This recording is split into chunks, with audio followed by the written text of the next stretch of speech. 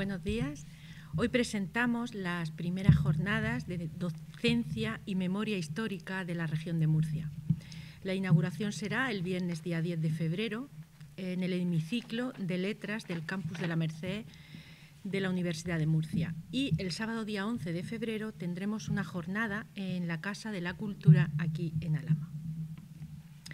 Desde su comienzo a las 10 de la mañana, el sábado día 11, hasta las 8 de la tarde, que será su clausura, tendremos diferentes ponencias. ¿Cuál de ellas más interesante?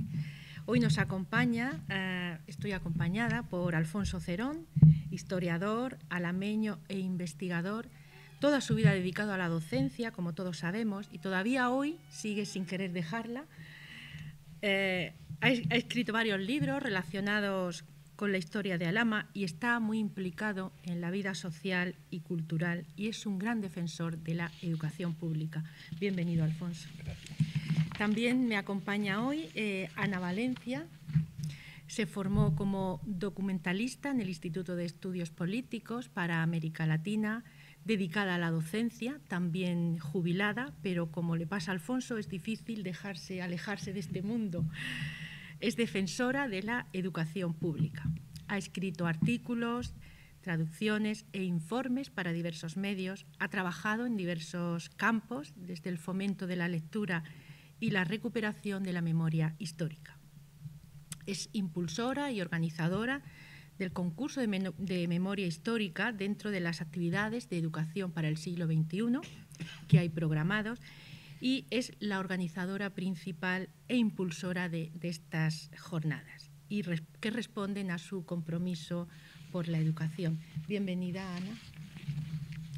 Bien, el objetivo de estas jornadas es responder a la situación actual de la memoria histórica en la educación, cuya presencia en el aula a veces eh, no es suficiente y es la educación la que debe tomar partido de forma clara en la defensa de los derechos humanos eh, para, conseguir, una justicia social. Otro de los objetivos también de estas jornadas es la creación de un grupo de trabajo de profesores para la creación de materiales sobre eh, memoria histórica. Pero yo les voy a pasar la palabra a ellos para que nos expliquen detalladamente estas jornadas y en general eh, esta esta, de lo que consta este, estas jornadas de memoria histórica. pues agradecer muchísimo al Ayuntamiento de Alama, a su alcaldesa, a la concejalía y a la concejala de, Cultura que nos hayan acogido y que nos ayuden a sostener y sostengan estas jornadas sin cuyo apoyo, pues verdad, habrían sido imposible y sin el arduo trabajo también de, Alfonso Cerón. Y agradecerle también a Esther, intersindical del Sindicato de Trabajadores de la Enseñanza Región de Murcia, pues también el apoyo a estas jornadas y el largo esfuerzo que vienen haciendo en defensa de la memoria histórica y de la enseñanza pública, que en realidad son dos cosas que están muy relacionadas. Estas jornadas nacen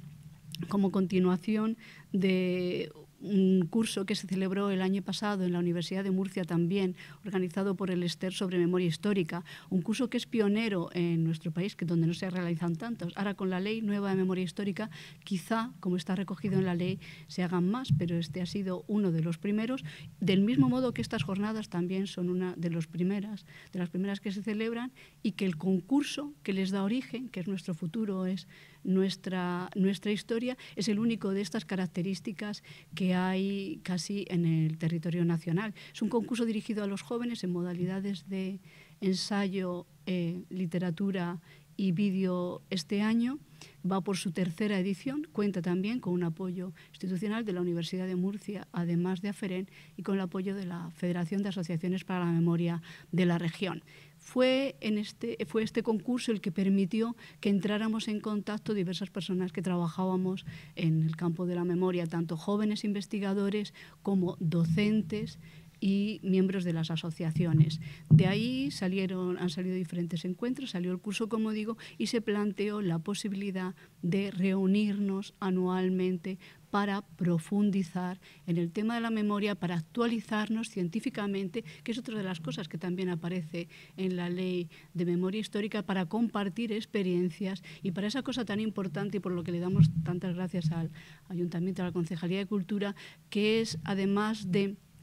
eh, la comunicación intelectual, la comunicación humana, porque a veces cuando uno está trabajando en estos temas y en condiciones que no siempre son en nuestra región las más fáciles, el PIN parental, etcétera, etcétera, eh, se siente muy solo. Entonces es muy importante encontrarnos y es muy importante encontrarnos en espacios públicos y ocupar los espacios públicos para mm, defender la educación y para defender la democracia, que es en definitiva lo que hacemos cada vez que abarcamos los temas de memoria histórica, es reconocer que la situación de libertad y de derechos en que gozamos actualmente no ha venido sola, sino que ha llegado con el sacrificio de muchos hombres y muchas mujeres que dejaron su vida en ello, muchísimo esfuerzo, muchísimo dolor y muchísimo sacrificio. Creo que todos los que estamos en esta mesa somos de alguna manera herederos de esa ilusión de ese impulso y aunque no estoy segura de que estuvimos a altura, que estemos a su altura, eh, nuestra intención es por lo menos mantener vivo su recuerdo y trasladarlo, lo que es más importante, a las generaciones nuevas que son el futuro. Por eso estas jornadas, además de haber una inscripción que se puede hacer en la página del sindicato del ESTER para todos los docentes y estudiantes, van a ser unas jornadas abiertas a todo el público en general, de tal manera que el que quiera acercarse a oír hablar los historiadores, a las diferentes mesas, etcétera, pueda hacerlo libremente. Eh, las jornadas comenzarán el viernes 10 de febrero en la Facultad de Murcia, en el campus de la Merced, con una conferencia a las 7 de Julián Badillo Muñoz. Eh, se llama Apuntes para la enseñanza de la memoria histórica y los movimientos sociales y el sábado vendrán a Lama a las 10 de la mañana, después de la concejala de Educación y Cultura que dará la bienvenida, a las 10 y 5, Julián Vadillo volverá a dar una conferencia, esta vez de investigar la historia social, enseñar la historia. Aquí tengo que destacar que Julián Vadillo Muñoz es doctor en Historia Contemporánea por la Universidad Complutense de Madrid, trabaja en la Universidad Los Terceros y en Educación Secundaria y que es especialista en la historia de los movimientos obreros y ha publicado numerosísimos libros sobre el tema. Ha escrito artículos en revistas especializadas de España y Francia y ha dado conferencias en España, Francia y ha estado en Londres, invitado especialmente por Paul Preston. Y es un colaborador de asiduo de las sociedades memorialistas. Por lo tanto, diríamos que es un enorme eh, enorme eh, honor tener aquí a una persona de este nivel eh, en Alama, primero en Murcia y después en Alama. Después de la conferencia de Julián, tendremos una pausa para el café y a las 11 y 20 una mesa redonda, donde el problema trata, será la construcción de la memoria, investigación, docencia y activismo. En esta mesa la va a coordinar Ana y participarán el propio Julián Badillo, Alfonso Cayuela, en representación de la Federación de Asociaciones de Memoria Histórica, y luego eh, dos profesores jóvenes, eh, Noelia Sánchez y Pedro Javier López, que es el representante de la AMICA de Majause aquí en Murcia, profesores jóvenes bueno, que aportarán su visión. Después de esta mesa redonda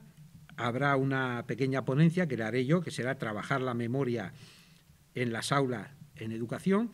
eh, y Después tendremos la experiencia del colectivo de historia social de Pablo Pino Martínez, también una persona joven, y a las 13.25 la investigación de la historia reciente en la región de Murcia.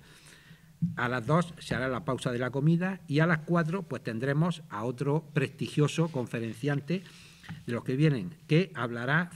fascismo y género desde una perspectiva transnacional. El conferenciante Tony Morán Ariño, Deciros que es doctor en Historia Contemporánea en la Universidad por la Universidad de Valencia, que trabaja en la propia Universidad de Valencia. Su tesis doctoral estuvo eh, la relación entre la sección femenina de Falange y las organizaciones juveniles femeninas de Hitler. Ha estudiado la relación entre los fascismos de Europa en 1930 y 1940. Habla alemán, por lo cual ha estudiado, ha visitado los archivos alemanes. Y bueno, investigador y ha estado invitado ¿eh? a dar cursos en las universidades de Viena, Madrid, Potsdam y, Berlín. Y ha publicado numerosísimos artículos en revistas especializadas. Por lo tanto, es otro de los pesos pesados que vamos a tener el privilegio de oír aquí en Alama. Después de su conferencia, tendremos la presentación de la red o la salsa, la red de educación y memoria del país valenciano, que vendrán a decirnos lo que están haciendo porque la intención, como ha dicho Ana, es hacer algo similar o incluso adaptarnos, pero que nos sirva de experiencia. Haremos una pausa para el café y después habrá una mesa redonda que será la problemática actual en las aulas de secundaria del profesorado de historia, es decir, por qué la memoria histórica está tan ausente en las aulas cuando a partir de ahora, con la nueva ley de memoria democrática, ya es obligatoria, pero una cosa es la obligación y otra es la realidad. Ese es el problema que se va a tratar en una mesa que va a coordinar Ana Cristina, eh, el apellido, Belló, que es también una eh, profesora joven, luego va a estar el propio Tony Morán y va a estar también Raúl Gómez, Alberto Canales, que son profesores jóvenes y va a estar el representante de la red de Valencia que, venga. Por lo tanto, va a ser muy interesante. Después, a las 8 menos cuarto, tendremos las conclusiones y un objetivo de esta jornada, que es la creación de un grupo de profesores que se dedique a eh, realizar propuestas metodológicas, trabajos para la memoria histórica en el aula y que luego pues colaboren eh, poniendo en difusión y colaborando entre institutos para esta serie de trabajos. Y a las 8 clausuraremos las jornadas por la alcaldesa de, de, Alama. Yo, a lo que ha dicho Ana, de los que quieran un título homologado de las 10 horas del curso, pues tienen que inscribirse en la página del sindicato, pero decir que también es un, es un curso, unas jornadas abiertas, que la gente, y sobre todo yo sé que en Alama hay gente adulta que le interesan estos temas, que asisten a estas actividades, bueno, pues que tendrán el programa puesto pues a partir del lunes ya va a estar ahí y que pueden venir, si les interesa todo, perfecto, pero si les interesan dos o una, pueden asistir a lo que les interese libremente y sin ningún problema. Y no es eso, sino animarlos a que asistan y, bueno, pues que vean que hemos, tenemos una un programa que yo creo que es de una calidad estupenda, de un nivel alto y que va, aparte de, los objetivos de difusión de la memoria democrática en el aula, también va a servir como formación para el profesorado, que a veces en estos temas pues no es lo, que nos gustaría que fuese. Así es que pues no sé si se me olvida algo, Ana, o, o tal, pero animaros a que la gente que quiera pues puede asistir.